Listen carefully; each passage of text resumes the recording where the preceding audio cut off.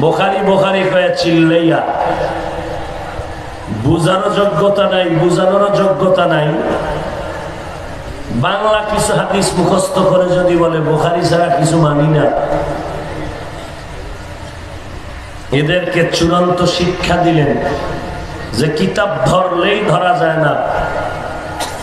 এই কিতাব বুঝার মতো, বুঝানোর মতো আগে যোগ্যতা অর্জন করতে হবে। যদি না হয় যাদের যোগ্যতা আছে, তাদের বুঝানো কথা মেনে চলতে হবে।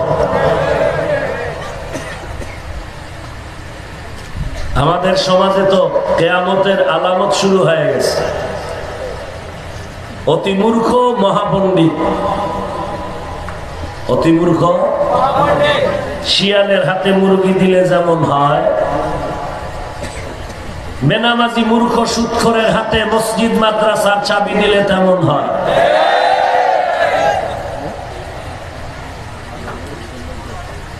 মহামূর্খ মহাপণ্ডিত। চাপার জোরে অথচ কোরআনের আরবি বুঝে না বোখারির আরবি বুঝে না। এ যদি বলে বোখারি ছাড়া কিছু মানি না আমি বলব, সে বোখারি শরীফ মানে না। সে বোখারি শরীফ মানে না। এক মিনিট যদি চিন্তা করেন যে এই জমিনের মধ্যে যত মুসলমান আছে হক, বাতেল, বেদাতি লামাজহাবি সমস্ত মুসলমান নিরপেক্ষতার মানদণ্ডে। ইমাম বুখারি রহমতুল্লাহ কিতাব, সহিহুল বুখারি কিতাবটাকে এত আপন বানায় নিলেন কারণ কি? বেদাতিরাও দলিল দেয় বুখারি লামাজাবিদেরও চিৎকার জিকির, বোখারি, বুখারি, বোখারি। সবাই দুনিয়ার এই বোখারিকে এত মাথার তাজ বানাইলেন, কারণ কি? এই কারণটা যদি মানুষ জানে, জীবনে কেউ বলবে না, আমি বোখারি মানি আর কিচ্ছু মানি না। কথা বলবে না। এবং এই কারণটা আমি যা বলব, এটাকে অস্বীকার করার কোন সুযোগ বৈধ সন্তানের হবে না। ইমাম বুখারি কি গুণ অর্জন করেছিলেন? যেই গুণের কারণে তার লেখা কিতাব গোটা বিশ্বে মুসলমানের কলিজার আপন হয়ে গেল।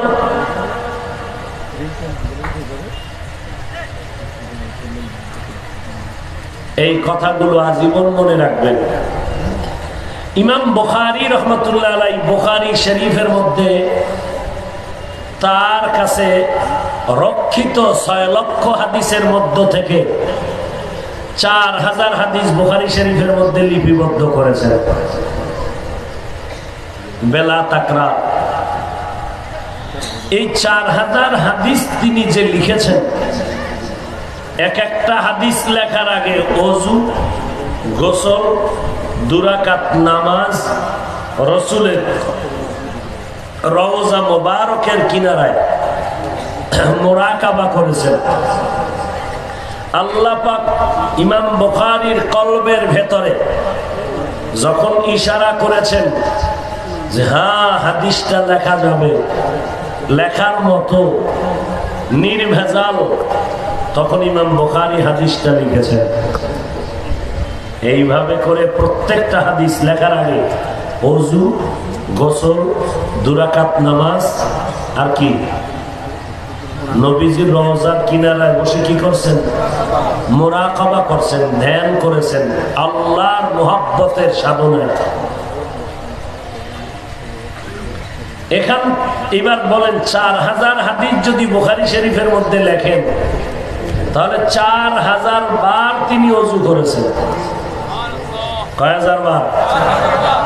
কথা বলেন না কেন ভাই? এরপরে চার হাজার বার গোসল করেছেন। চার হাজার বার দুরাকাত করে নামাজ পড়েছেন। কথা ঠিক? চার হাজার বার নবীর রওজায় আতহারের পাশে মোরা খাওয়া করেছে একথা অস্বীকার কোন বৈধ সন্তান করতে পারবে?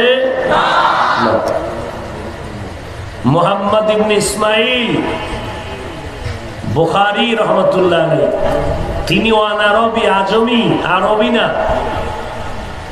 অথচ তার কিতাব কত মূল্যবান যে কোরআন শরীফের পরে বুখারির মূল্য।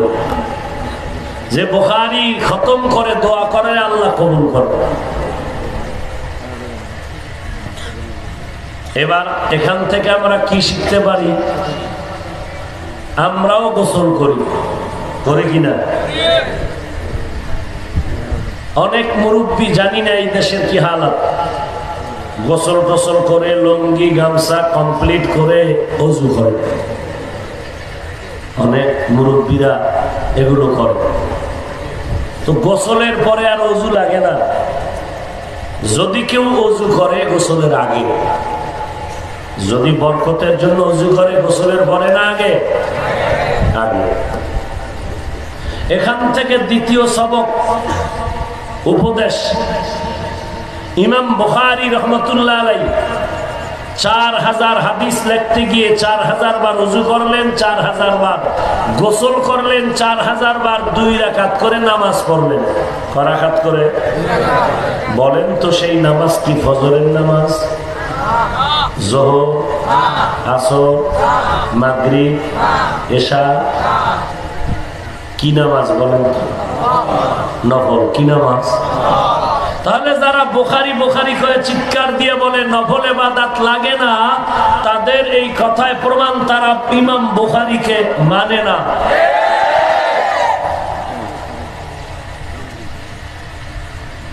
এছাড়া তো বহু দলিল নবী সাহাবাই কেরামের মধ্যে আছেই। কিন্তু যারা বোখারির জীবনের আপন বানায় জিকির করে, বোখারি ফিকির করে না শুধু কি করে? জিকির করে, কোন ফিকির করে না। এরা কি বলে? বোখারি ছাড়া কিছু মানি না। বলো, ইমাম বোখারি কিতাব লেখলেন চার হাজার, হাদিস লেখতে গিয়ে চার হাজার বার দুরাকাত করে নফল নামাজ পড়লেন। যারা বলে নফল ইবাদাত লাগে না, তারা ইমাম বোখারির দুশ্মন। আর কি উপদেশ পাই? আমাদের দেশের আহলে হক পীর মাসায়েক আল্লাহওয়ালা, ওলি ওলি আল্লাহ যারা, আউলিয়ায় কেরাম, হক। এরা মুরিদানদেরকে আল্লাহ পাওয়ার জন্য মুরাকাবার সবক দেন। আল্লাহ পাওয়ার সাধনার সবক দেন। ইমাম বুখারি নবীজির রওজার কিনারায় মোরাকাবা করেছেন চার হাজার বার। অতএব আল্লাহওয়ালা আহলুল্লাহ, আউলিয়া, পীর বুজুর্গ, আহলে হক যারা পছন্দ করে না, তারা ভণ্ড। এদেরকে যেই হজরতেরা ভণ্ড বলে না, তারাও ভণ্ড।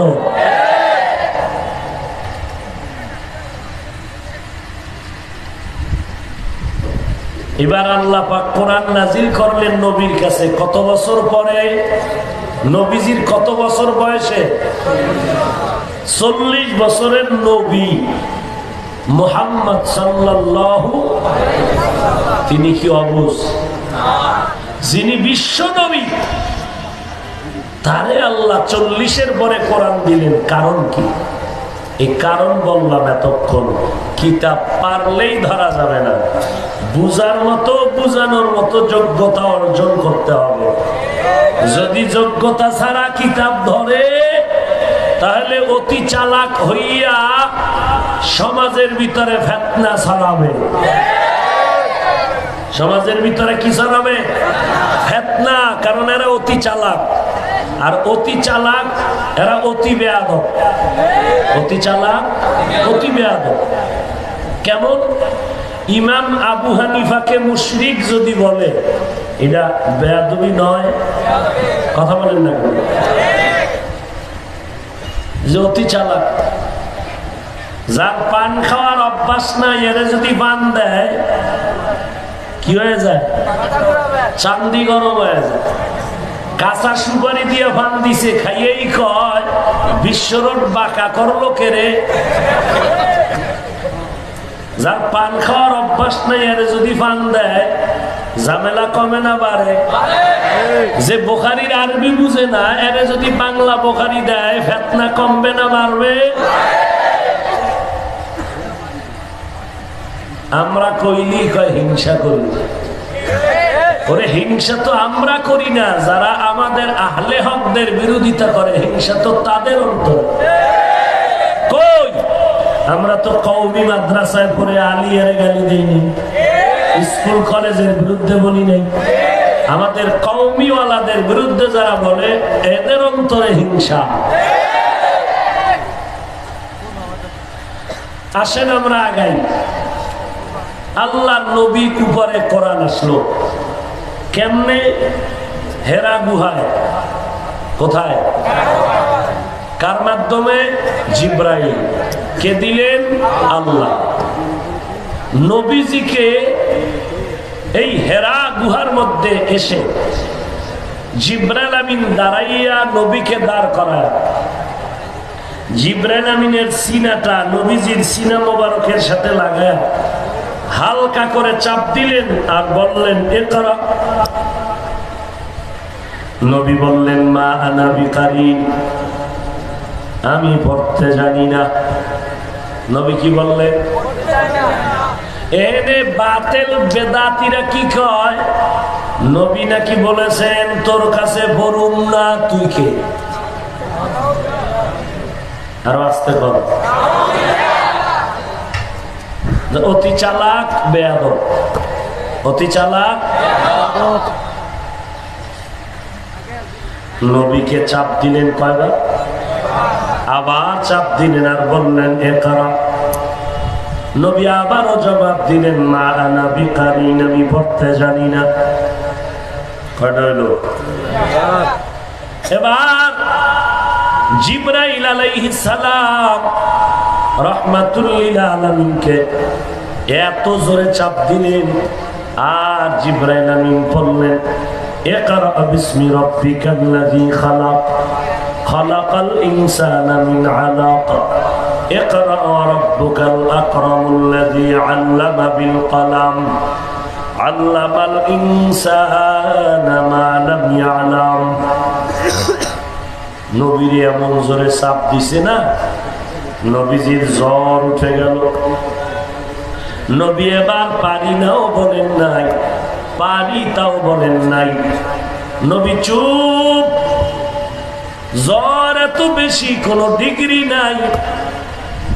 এত বেশি জ্বর শরীরের মধ্যে কম্পন শুরু হয়ে গেল। মনে হয় যেন মরণের কষ্ট শুরু হইল এমন।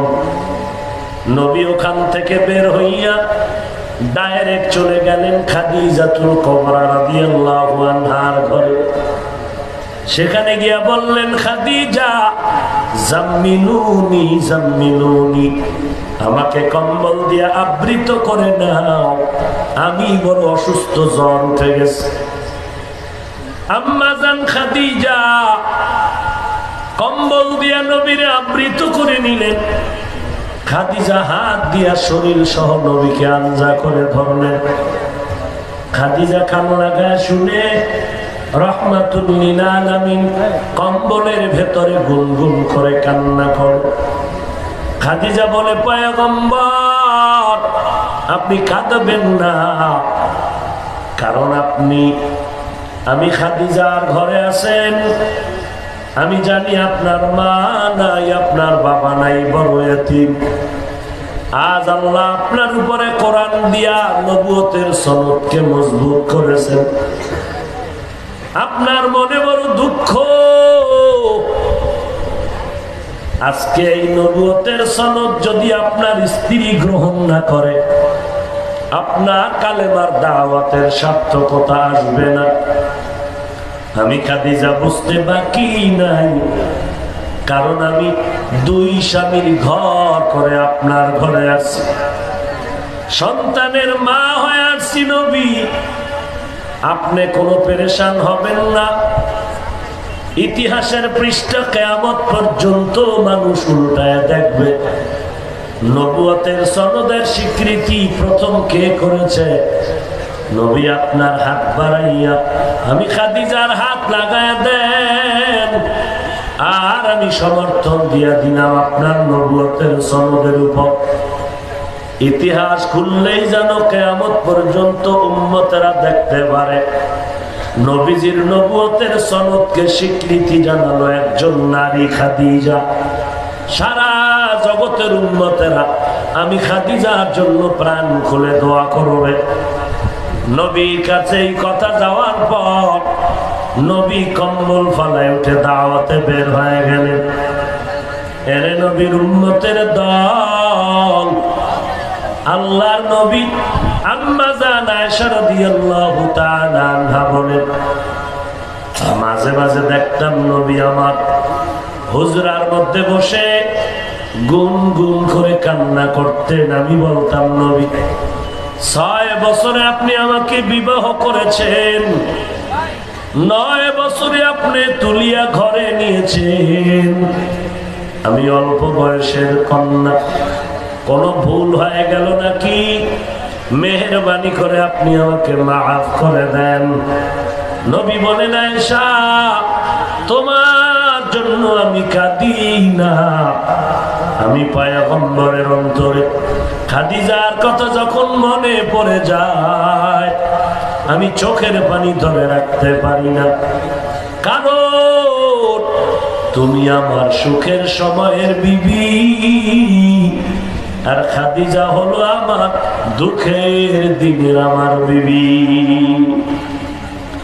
যেই দিন আমার মক্কায় কেউ নাই, আমার বাড়ি নাই, ঘর নাই, আমার মা নাই, আমার বাবা নাই, আমি বড় হয়েছি ওই সময় চল্লিশ বছর পর্যন্ত আমি হেরা গুহায় গিয়া মাওলা পাকের ধ্যানে সময় কাটাইতাম।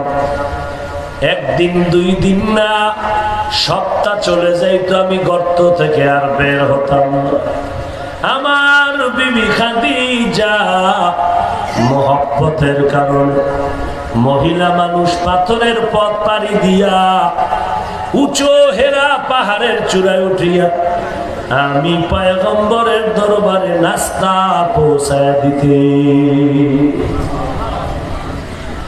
খাদিজা আমার দুঃখের সময়ের বিবি। আমার দুঃখের তিন বছরের কিনারায় আমাকে শিয়াবে আবু তালিবের মধ্যে বন্দি করে রেখেছিল।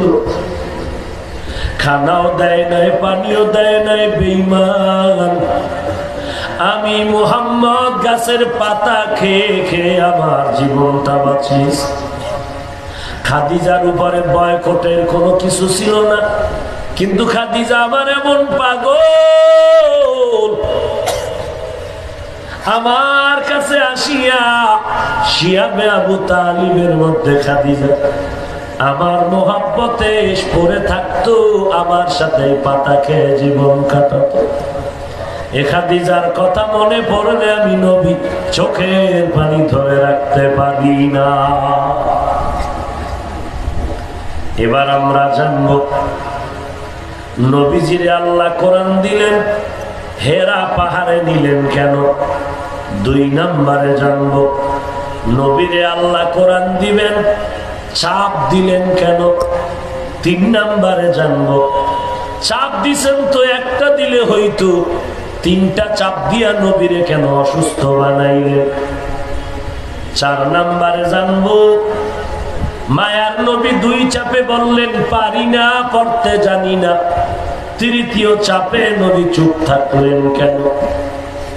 হেরা পর্বতে আল্লাহ নিলেন কেন? এর এক নম্বর কারণ, পাহাড়ের মধ্যে নেওয়ার কারণ বন্ধুর সাথে বন্ধুর মহাব্বতের আলাপ। এটা ওপেনে হয় না গোপনে মজা বেশি হয়? ওপেনে না গোপনে? গোপন কি? বাজার? হ্যাঁ? জঙ্গল, পাহাড়। এই জন্য নবী দীর্ঘ চল্লিশ বছর পর্যন্ত হেরা গুহার মধ্যে মাওলা পাকের ধ্যানে সময় কাটাতেন, মোরা কাবা করতেন, আল্লাহ পাওয়ার সাধনা করতেন। তো হেরা পাহাড় কেন? বাইতুল্লাহ কিনারায় তো জগলের আবু কবাইস পাহাড় ছিল, আরও কত পাহাড়?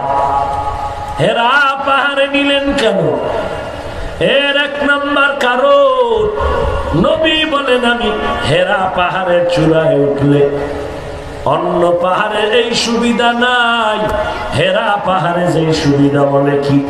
বলে আমি হেরা পাহাড়ের গুহায় দাঁড়াইলে, ডাইরেক্ট আমি বাইতুল্লাহ নজরে দেখতে পাইতাম। বাইতুল্লাহ দেখলে আমার কলিজা ঠান্ডা হয়ে যাইতো। কারণ দুনিয়াতে এমন কিছু জিনিস আছে, দেখলেই সব বাইতুল্লাহ দিয়ে তাকাও সওয়াব।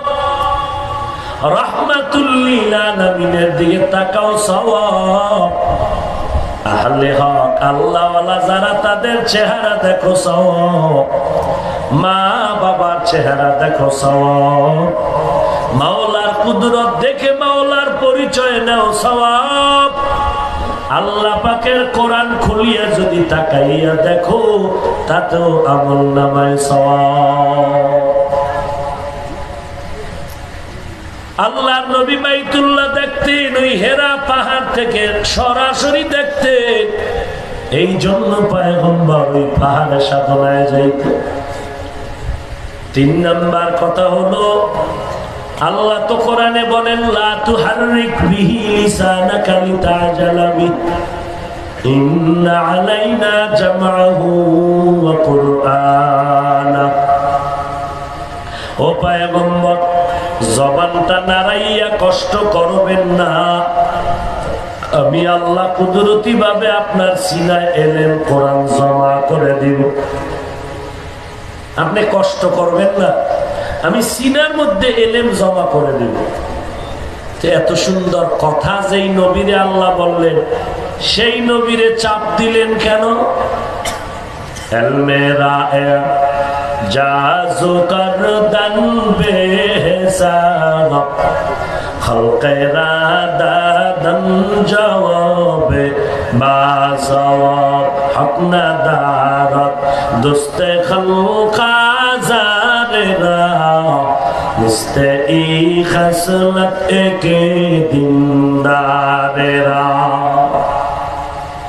যে আল্লাহ নবীরে বললেন, কষ্ট করবেন না, সিনায় কোরআন ঢুকায় দিব।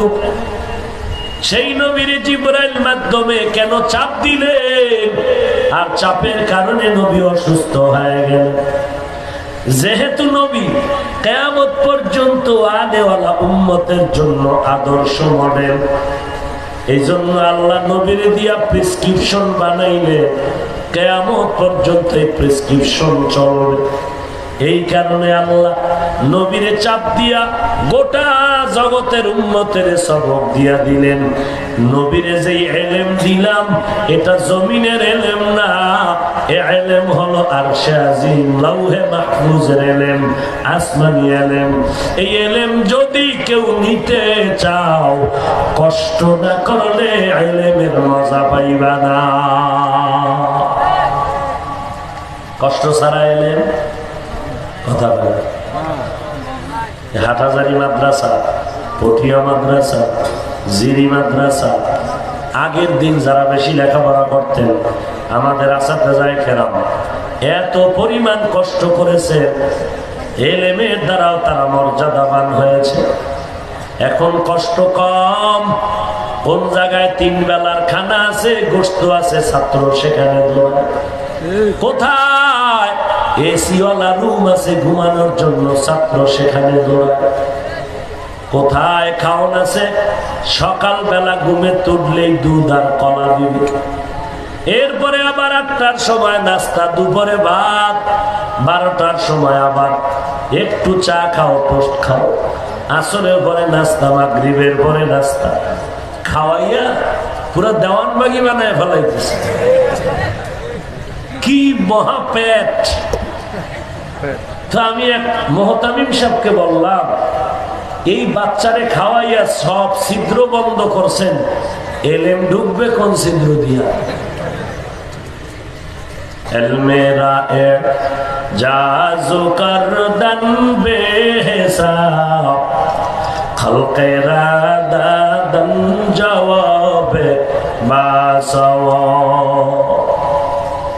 এলেম শিখার জন্য কষ্ট করতে হবে এই জন্য দেখবেন আমাদের মাদ্রাসাগুলোতে যখন প্রথম ছাত্র ছিল তিরিশ টিনের ঘর তখনও খাওয়া দাওয়ায় কষ্ট, ঘুমে কষ্ট। এখন তিনতলা বিল্ডিং হয়েছে, ছাত্র পাঁচশো হাজার হয়ে গেল। এখনও কষ্ট কম নাই, খানা দানা ঘুমানো কষ্ট। কারণ আল্লাহ চায় যে যেই পরিমাণ কষ্ট করবি, হেলেমের দ্বারাও সেই পরিমাণ মর্যাদাবান হবি। এবার আপনি তিন বেলা খান আর পাঁচ বেলা খান, জানার দরকার নাই। ফাইনাল রেজাল্ট হলো, হেলমে ওহির জন্য যেই যেই পরিমাণ কষ্ট করবে, আল্লাহ তাকে সেই পরিমাণ মর্যাদাবান করে দিবে। এজন্য নবীরে চাপ দিলেন চার নাম্বার কথা নবীরে চাপ দিলেন, তো তিনবার দিলেন কেন? একবার দিলেই তো হয়ে যাইত। তিনবার চাপ দিয়া নবীরে মহা তিনটা দুঃখের কথা স্মরণ করা ইশারা করলেন। ও নবী, আপনার জীবনে মহা তিনটা ভয়। মারাত্মক, ভয়ঙ্কর দুঃখের সময় আসবে। এক কষ্ট হলো তিন বছরের মতো শিয়াবে আবু তালিবের মধ্যে নবী কষ্ট পাবেন না খাইয়া। দুই নাম্বার কষ্ট, একই বছরের আগামাথায় নবীর দুনিয়া দারুল আসবাব হিসেবে দুইটা ছায়া। চাচা আবু তালেব আর নবীর স্ত্রী খাদিজা রাদিয়াল্লাহু আনহা। দোনোজন একই বছর ইন্তেকাল হয়ে গেল। নবীর জন্য মহা এক কষ্ট। নবী এত কাদাই কাঁদলেন, অন্যের বেলায় নবী এত কাঁদেন নাই। তিন নাম্বার কষ্ট, জন্মভূমি মক্কা ত্যাগ করিয়া মদিনায় হিজরত করার কষ্ট।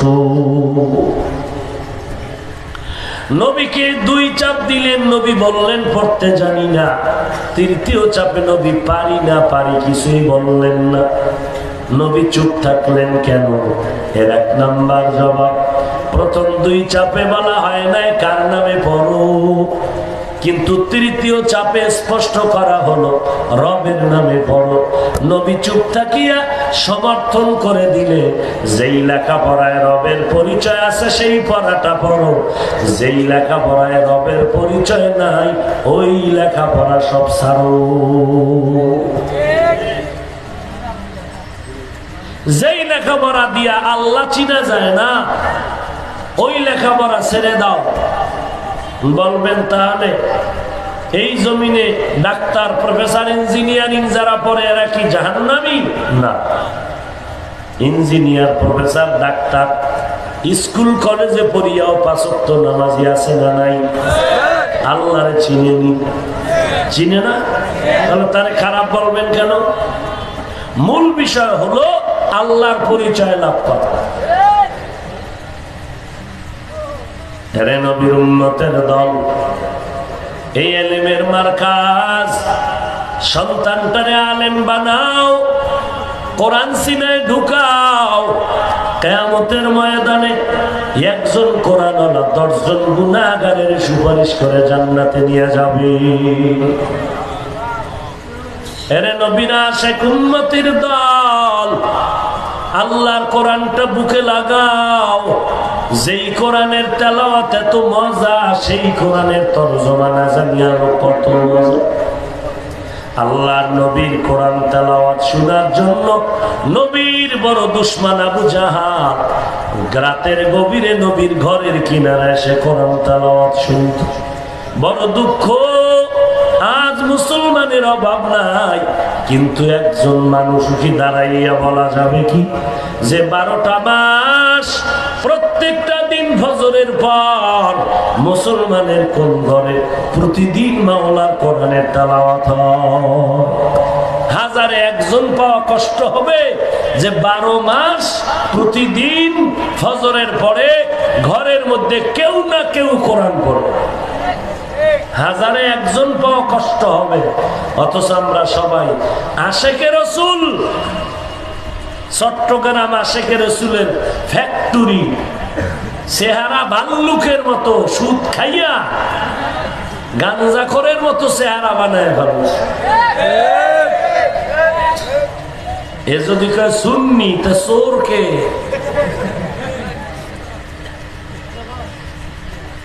تو যাও جاؤ سنت احمد کو جا با محمد উম্মতরা সুন্নত এখন ভুলতে শুরু করেছে, চিনেই না সুন্নত কি জিনিস। অথচ সমস্ত উলামায় কেরাম একমত এই যুগে সব থেকে বড় দামি বুজুর্গ আল্লাহর প্রিয় বান্দা ওই ব্যক্তি যে সুন্নতের উপরে মজবুত যত পরিমাণ বেশি। আর এর সাথে আমি আরেকটু বাড়ায় বলি যে সুন্নতের আমলের সাথে সাথে গজবের মোবাইল থেকে যে যত দূরে আল্লাহর কাছাকাছি সে তত প্রিয়। আসতে বলেন কেন? এই মোবাইলের কারণে আমার হাতের গুণা, চোখের গুণা, অন্তরের গুণা, আমার জবানের গুণা। ঘরে বইয়াও মোবাইলে কয়, আমি ডাকা কি পরিমাণ মিথ্যা চর্চা করল এই মোবাইল? সন্তানের সাথে মিথ্যা, বন্ধুর সাথে মিথ্যা, শেষ পর্যন্ত এই মোবাইলের কারণে তাজা তাজা প্রাণগুলো মাটির তলে চলে যাইতেছে। মোবাইলের কারণে। চোখ না পা জিব্বা না পা, অন্তর না পা, হাত না পা। এটা হলো আধ্যাত্মিক রোগ। এবার শারীরিক রোগ। ব্রেন কমতেছে, চোখের পাওয়ার কমতেছে, চেহারা ফেকাশে হয়ে যাইতেছে। কি যে নূর চমকাইতেছে যেই তালে বিড়ি টানেও চেহারা দেখলে কলিজা ঠান্ডা হয়ে যায়। তুমি মাস্ক লাগাইয়াই থাকো, খোদার গজব হইল ওই গজবের মানুষের জন্য এটা আমাদের জন্য কল্যাণ। যে বিড়ি টান্না সামনে আও। খোদায় মাস্ক দিয়ে এটারে ওই গন্ধ টন্ধ আস না, তিন ফিট দূরে খারাপ কারণ তোমার মুখের যেই মেস্টের ঘ্রাণ, মেসোয়াক তো নাই ওই বেরাস গুতানেরও টাইম নেই। জামায় সাবান দেওয়ার সময় নাই, তো গেঞ্জিতে দিবে কবে? চামড়ার খবর তো আরও খারাপ। তো তিন ফিট দূরে থাকো, মাস্ক পরো, তোমার মুখের দুর্গন্ধে কেউ যেন স্ট্রক না কর। দূরে থাকো, এটা সতর্ক। আল্লাহ মাফ করেন। আরও জোরে বলেন। আল্লাহর কোরআন এমন একটা কিতাব আপনাদের, এটা কোন থানা? সাতকানিয়া থানায় দামি দামি বিল্ডিং আছে। একটা বিল্ডিং এর ওই পরিমাণ দাম নাই। কোরআন বিল্ডিং এর যেই পরিমাণ দাম। সাধারণ সামান্য কাপড়ের দাম নাই, কোরআনের সাথে লাগল, গিলাফ নাম হলো, দাম বেড়ে গেল। কাঠের কোনো দাম নাই, কোরআনের সাথে লাগল রেহাল নাম হলো, দাম বেড়ে গেল। আমি বান্দার কোনো দাম নাই, আজ এত দাম কেন? একমাত্র কোরআনেরই বরক ঠিক ঠিক তো চল্লিশ বছর কইলেন। এই কোরআনটা নিজে কেন শিখেন না? এরপরে নামাজ কি পড়েন? কোরআন না জানলে আল্লাহ ভালো জান। আমরা চার রাখাত পড়তে আপনার দশ রাখাত শেষ। কি নামাজ পড়েন আপনি? আর যারা পড়ে না, এগো তো কোনো টেনশনই নেই। এরা নামাজ না পড়লেও দেল পরিষ্কার। আসিনি এরম ধোকাবাজ। একটুখানি নেকের তরে, রোজ হাসরের মাঠেতে বাবা ঘুরবে ছেলের পিছে, ছেলে বাবার আগেতে। আহাতে মন কঠিন দিনেতে নামাজ তোমায় ভুলবে না। ঠিক মতো পড়িলে নামাজ জান্না তোমার ঠিকানা। ঘুমের চেয়ে নামাজ ভালো, আর তুমি ঘুমাইও না। ঠিক মতো পড়িলে নামাজ জান্না তোমার ঠিকানা। পড়া লাগবে নি? বছরে কয়দিন হম? হিসাব পাকা। বাঙালি পাগল হইল তাহলে ঠিক। কয় ভাই, দাওয়াত। কাল আলহামদুলিল্লাহ কয়, তোমার বাড়ি কয় নজুবিল্লা এর নাম বাঙালি।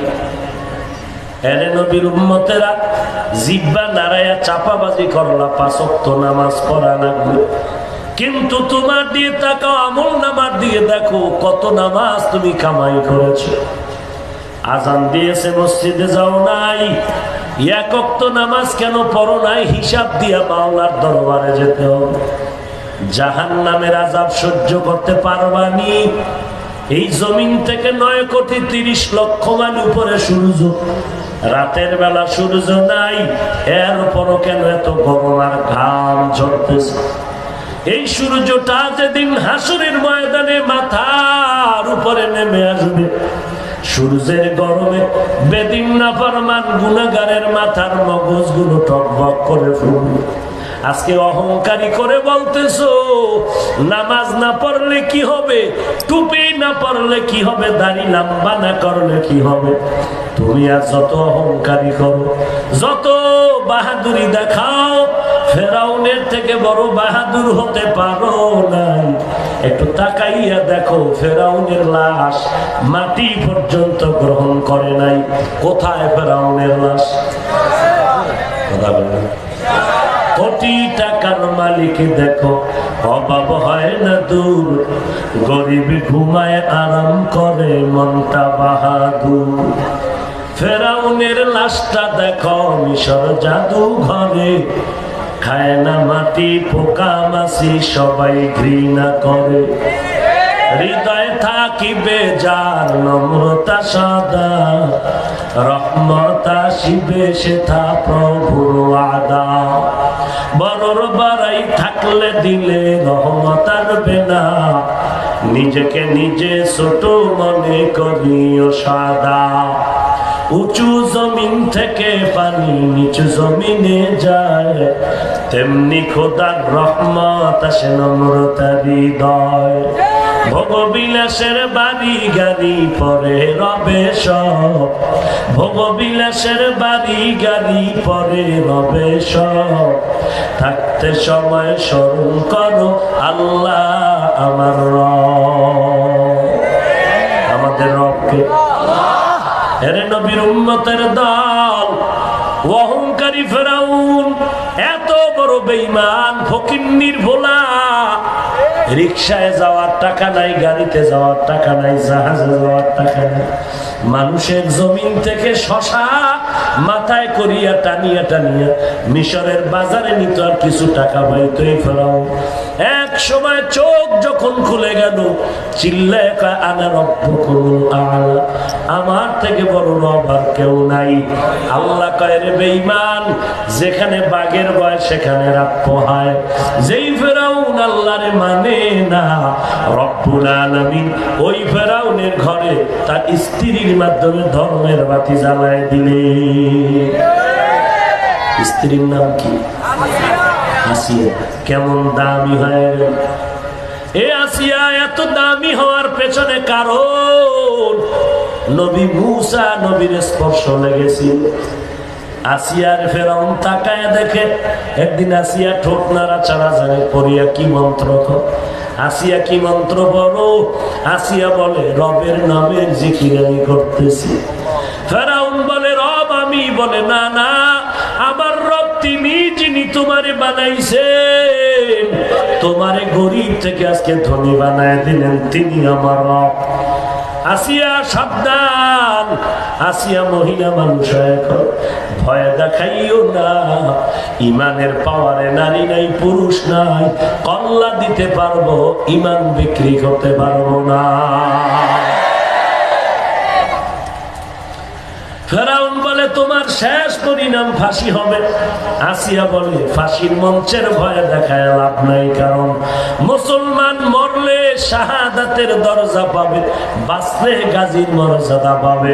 জেলখানার ভয় দেখাইয়া লাভ নাই, কারণ মুসলমানের জন্য জেলখানাও হয় এবাদত খানা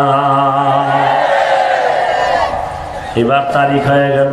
আসিয়ারে জবাই করবে সুলিবিদ্ধ করবে তীর দিয়া লোক সমাগম হয়ে গেল, ফেরাউনের স্ত্রীর ফাঁসি দেখার জন্য। ফেরাউন যখন আসিয়ারে ফাঁসির মঞ্চে নেয় আসিয়া মুস্কি মুস্কি হাসতেছে। ফেরাউন ডাক দিয়া কায়ের আসিয়া বিপদের সময় কেন হাসো? আসিয়া ডাক দিয়া কায় তুমি তো দেখো না, তোমার পাওয়ার নাই। আমি ইমানের পাওয়ার দিয়া দেখতেছি, জান্নাতের ফিরিস্তার আমাকে স্বাগতম দেওয়ার জন্য অপেক্ষমান। এই আসিয়া কেমন দামি? আল্লাহর নবী বলেন, হাসরের কঠিন দিন যেদিন নবীরা নাফসি নাফসি বলে কাঁদবেন ওই সময় আল্লাহ পাকের জান্নাতের আটটা দরওয়াজা চারজন মহিলাকে বারবার ডাকবে, আসো। জান্নাতের মেহমান খানায় আসো, সূর্যের গরম যেন না লাগে। চারজন মহিলাকে জান্নাতের আটটা দরওয়াজা দিয়ে ডাকা হবে। এই চারজনের মধ্যে আসিয়াও হবে একজন নারী, যাকে জান্নাতের মেহমান খানায় ডাকবে, সূর্যের গরম যেন না লাগে। আসো আসিয়া জান্নাতের মেহমান খানায় ঢুকে যাও। এরে পর্দার আড়ালের আম্মা জানেরা, আপনারা তো আসিয়ার মতো একজন নারী। আপনার স্বামী তো ফেরাউনের মতো নামাজে বাধা দেয় না। পারেন না পাঁচ বেলার নামাজ পড়বেন, কোরআন তেলাওয়াত করবেন, স্বামীর জন্য দোয়া করবেন, সন্তানগুলোকে আদর্শওয়ালা বানাবেন, ইঞ্জিনিয়ার হোক ডাক্তার হোক, আলহামদুলিল্লাহ, আপনার সন্তান প্রফেসর হবে, আলহামদুলিল্লাহ। কিন্তু আদর্শ নষ্ট করলে দুনিয়াও ধ্বংস, পরকালও ধ্বংস। যদি আদর্শওয়ালা বানায়, যাও রে মা, সন্তানও দোয়া পাবে। সন্তানের কারণে মা, তুমিও দোয়া পাইবা। ঘরের মধ্যে মা তুমি শুধু সন্তানের মা না, তুমি গোটা জগতের জন্য একটা আদর্শ মা। তোমার আদর্শ ভালো তো সন্তান ভালো হবে, একটা সন্তানের আদর্শের কারণে গোটা জগতের অন্ধকার আলোকিত হয়ে যাবে।